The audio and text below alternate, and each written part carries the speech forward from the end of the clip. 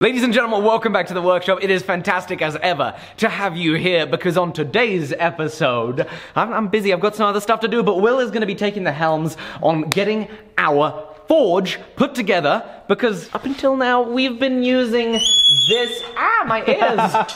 We've been using this, admittedly, it's a champ of a forge. It really, for the size and how simple it is, it's an amazing forge, but it's a little bit small for the stuff that we've been doing. We've been kind of maxing it out, running it a little bit past what we should have been running it at. So a bigger forge, actually the inside chamber is four times the size of the inside chamber of this one uh, and it's going to be pretty darned amazing. Now, what we're also going to try to do is make this a, a, a, pretty safe forge because many forges have ceramic fiber uh, exposed or easily able to be exposed, which can be quite dangerous. It's a carcinogen. So, what we want to do is we want to have our ceramic fiber blanket only as a backup insulation and then coat the rest in hard refractory so that we can make sure that it's as safe a forge as possible while still being a big, efficient behemoth. Before we jump in, though, we want to thank Dave today's sponsor, which is Raid Shadow Legends. Raid Shadow Legends is the game that's gonna make you forget everything you know about mobile RPG games. It has just dropped. The graphics on this are just unbelievable.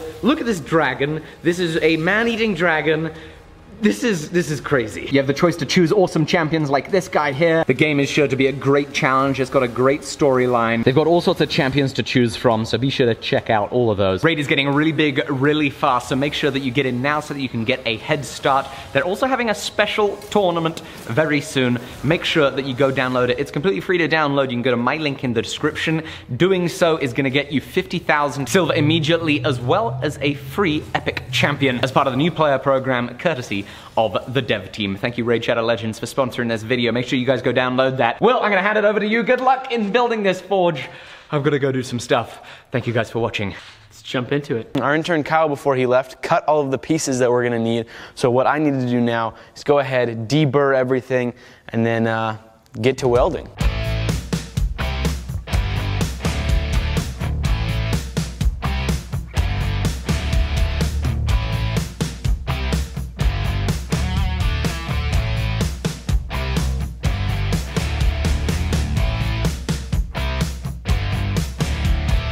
Okie doke, now that I have spent the longest possible amount of time in the grinding room deburring everything, turns out that deburring big heavy pieces of plate isn't the easiest thing in the world. We got it done though, cleaned up those plasma cuts, it's gonna look a lot nicer now. Uh, so now it's time to jump into welding up the frame of the like base of the forge. So what it's gonna sit on, we're basically making a cart with casters obviously. Uh, so that we'll be able to roll it around, move it around where we want. Uh, so I'm gonna start off by welding up two sides of that frame and then slapping them together. Should be pretty exciting. It's gonna come together pretty quick from this point on. I'm excited to get to try out this Rhino cart from Strong Hand Tools. I haven't really gotten to use it yet, besides tacking up billets of Damascus, but that doesn't even really count. So let's jump into it.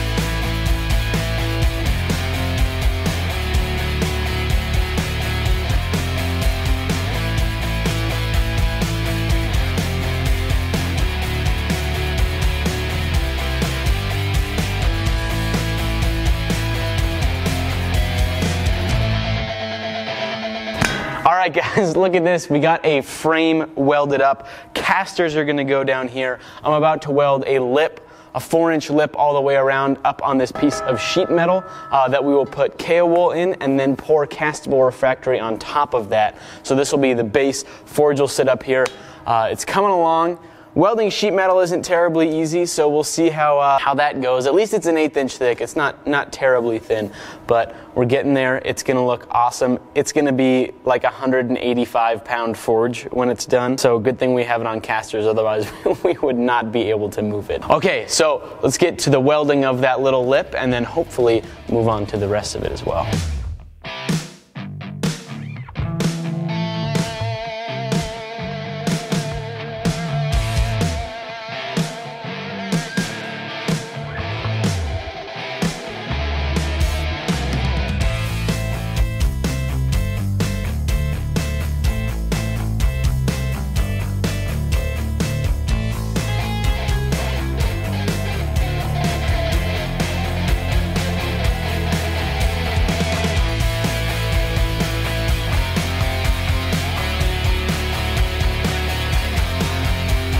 Okay, so what you guys just saw me do was first off, I welded around the uh, two kind of end shelves uh, just so that no debris will really get caught in there. And then I cut some K-wool and pressed it down into the bottom of that little dish, I guess, that we made. And now the next step is to do a little bit of math, figure out how much castable refractory we need to mix up to pour for the base of the forge. Uh, we're finally moving on to the actual lining itself.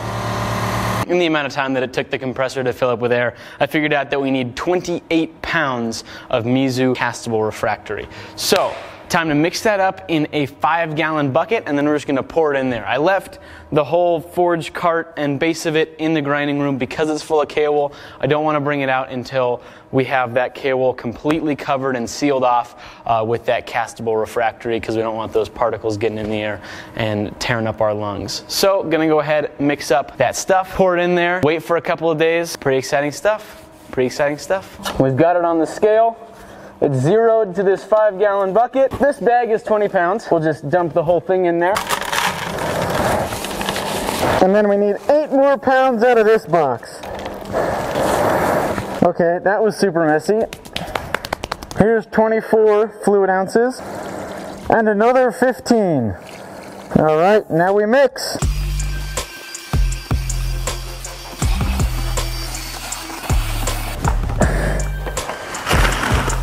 Ah, nice. That doesn't look good. No. Okay, so we need more. The camera turned off, that's my bad. Anyway, I poured 12 more pounds of refractory in here, and it's still sitting low. And I think that's because there's K-wool underneath it and the K-wool just wants to compress down. Yeah, this should be pretty good. We'll do a layer of Satanite over it, which reflects heat a little bit better than this Mizzou does. So we'll get up a little bit, but it's still gonna be sitting a little low.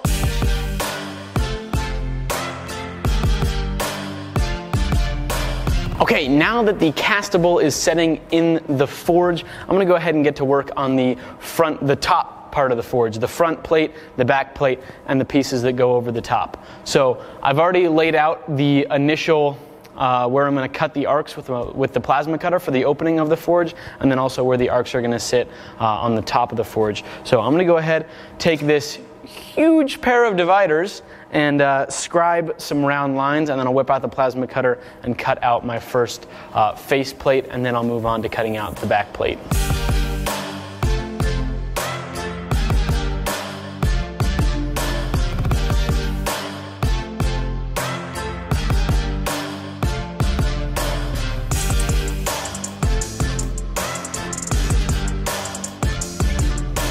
Okay, so uh, this is short. Not a, not a terribly difficult thing to fix. I'll just have to cut out extra strips and weld them onto the side to make up the gap. This isn't going to bend that much to get to our, uh, this is, when it's centered, not going to get us to our mark. So I'll just have to cut some, some extra strips or we might have some sheet metal that we can just slap on there and, and weld it up to, to fill up that gap. So not the end of the world, kind of sucks. Difficult to, to measure this out. Let's get to welding.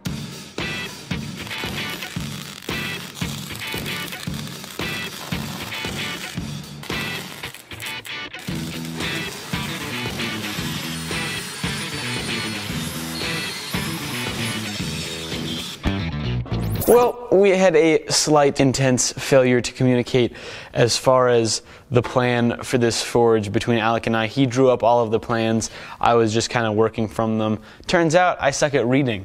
Uh, this piece right here is supposed to actually sit inside on top of the uh, refractory in here so that the lining, not the lining, so that the steel doesn't get eaten away there. So this is actually going to sit back about a half inch on either side.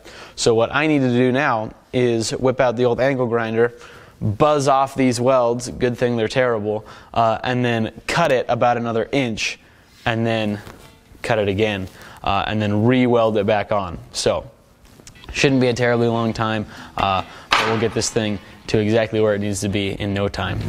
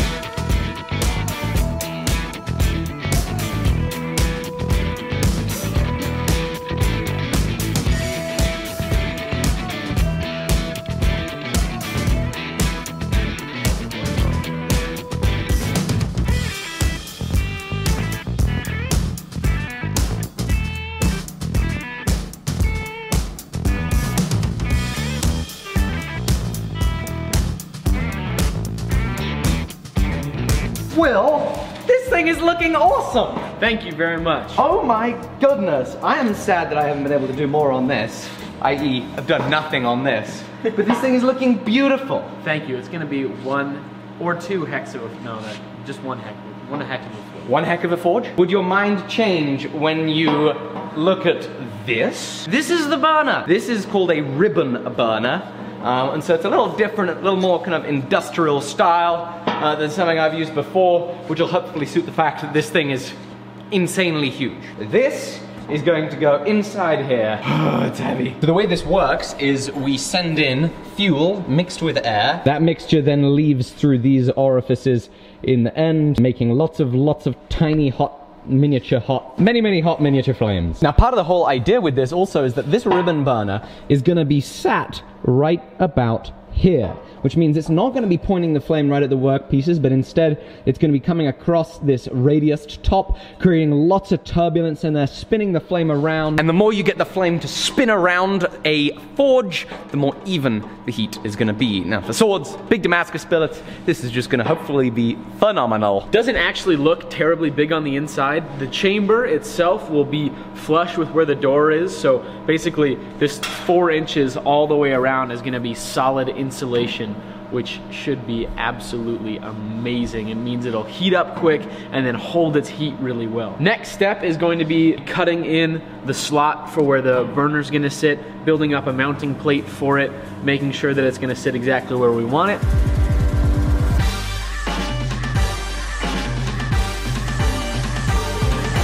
So now that we've got that burner mounting system done up on here, what we're gonna go ahead and do is move on to building an indexing system for it so that this forge, the shell, the top of it is going to sit on the base in the same spot every time and also make sure that it's nice and level.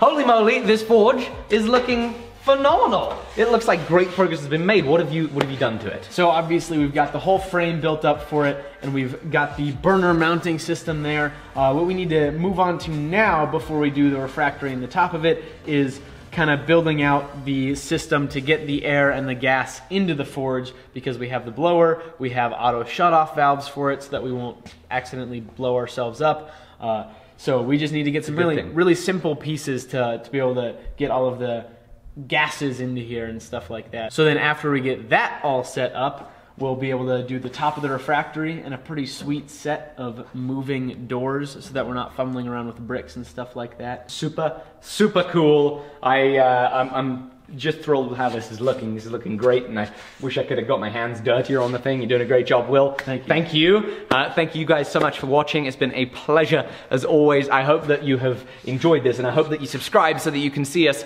continue to finish off this forge. Get this thing ready to heat some big pieces of steel. Be sure to go download our sponsors game today, Raid Shadow Legends, and get those 50,000 silver as well as an epic champion. Thank you so much for watching. Pleasure as always. See you in the next one. Bye-bye.